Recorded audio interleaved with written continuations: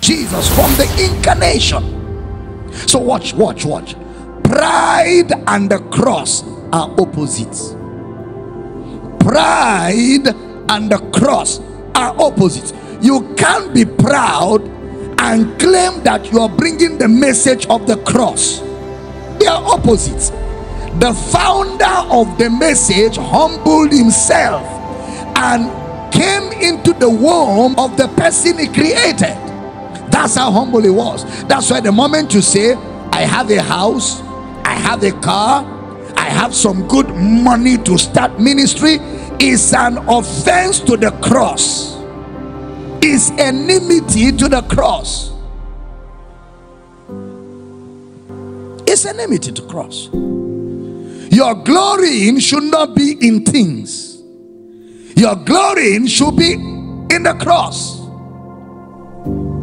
Ah, I have some money, you know. I have money to rent the best building, put in the best things, and create a beautiful, you know, um, beautiful arena for for people to gather. There's nothing wrong in living in beautiful churches. We have a beautiful one after all, but that is not at the fore of this message. That doesn't define the message. We can as well gather by the riverside and still have church.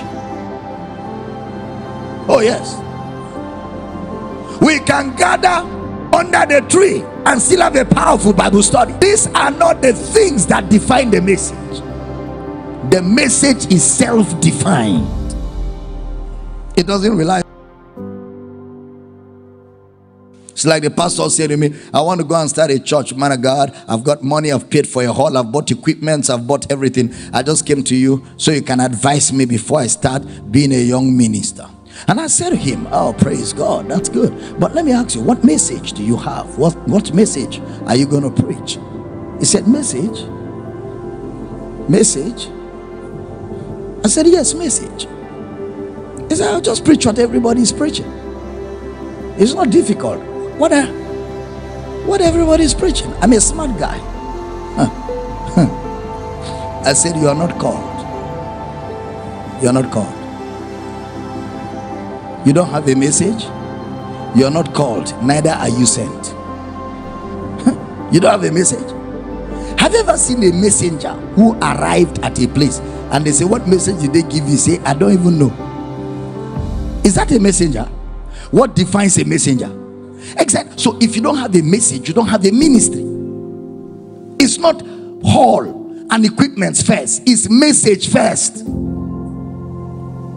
It's message first.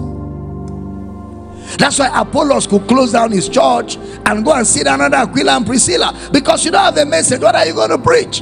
And they Akiribos, the guy, they gave him the finest details. And then he came back to the jews and mightily convinced them that jesus was the christ. That is ministry. He was no more mighty in scriptures. Mighty in scriptures. Knowing only the baptism of john. And john doesn't have a book. So i wonder what the man really knows. When they took him gave him the finest details of Bible teaching. Akiribos, the Greek word. When he left them after being tutored, he came into the camp of the most sophisticated people, Jews, and mightily convinced them. That was when his ministry really started. That Jesus was the Christ. Please, it's very important because all of you here are ministers of the gospel. Everybody following me online, everybody listening to the campus. This ministry is a minister's ministry.